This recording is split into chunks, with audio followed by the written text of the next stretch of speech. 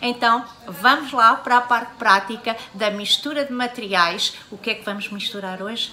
Pérolas de água doce com pedras naturais. Bora lá comigo para a parte prática.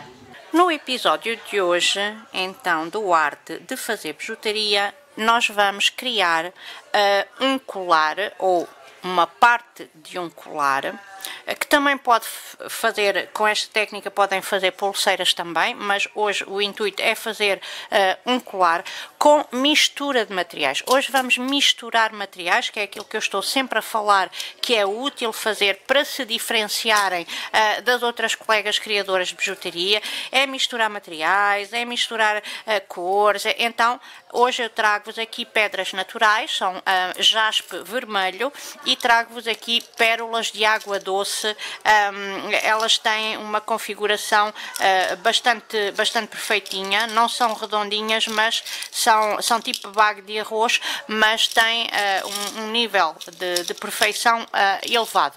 Então, vamos misturar pérolas de água doce com pedras naturais uh, chamadas cascalho. São as pedras naturais irregulares, porque elas são uh, pedacinhos uh, de pedras todas de formas diferentes, são formas irregulares, e vamos fazer então a mistura de materiais para nos diferenciarmos e para que os nossos trabalhos não sofram com a guerra de preços ok? Portanto, vamos lá começar. Vou começar por contrapinar elementos, portanto, vou pegar aleatoriamente em pedaços de, de, pedra, eh, de pedra natural e vou contrapinar, assim como também vou fazer o mesmo com as, eh, com as pérolas de, de água doce. Portanto, é um movimento repetitivo, não é? Vamos ter aqui um trabalho uh, repetitivo de contrapinar elementos. Aqui está.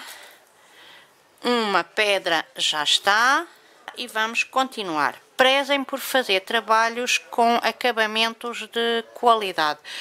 Um, no, no Bijutaria de Sucesso eu ensino-vos tudo isso uh, de, de, de, acabamentos de qualidade, como é que se fazem todos os acabamentos que vocês possa, podem precisar de fazer uh, na criação de bijuteria, encontram lá absolutamente uh, tudo.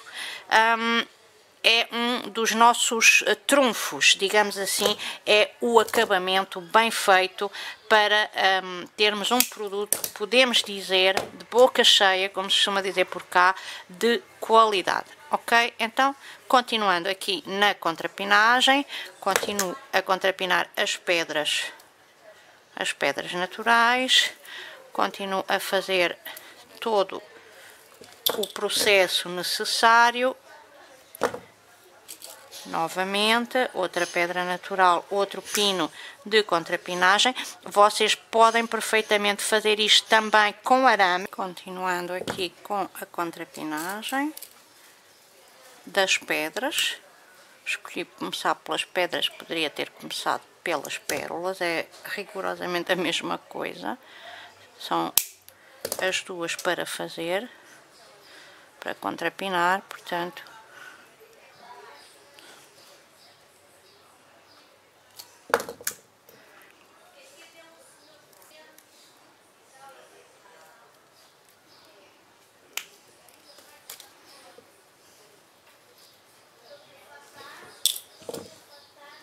mais uma que está pronta e temos já aqui oito pedrinhas naturais uh, contrapinadas. Vamos fazer o mesmo com as, uh, as pérolas.